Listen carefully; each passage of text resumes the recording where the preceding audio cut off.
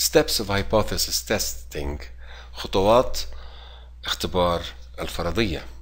The first step is the statement of the hypotheses both the H naught and the H1 أول خطوة هي وضع الفروض فرض العدم والفرض البديل.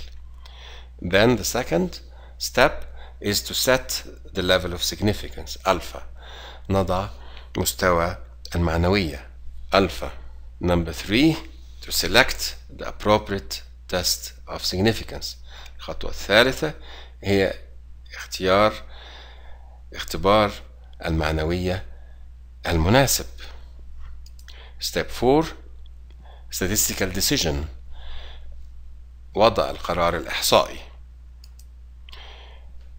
there are two steps in the statistical decision the first is to compare the calculated value with the tabular value أول خطوة في القرار الإحصائي هي مقارنة القيمة المحسوبة the calculated value بالقيمة الجدولية tabular value the second step is to conclude الخطوة الثانية هي وضع القرار to conclude نستنتج either to reject or fail to reject the H note.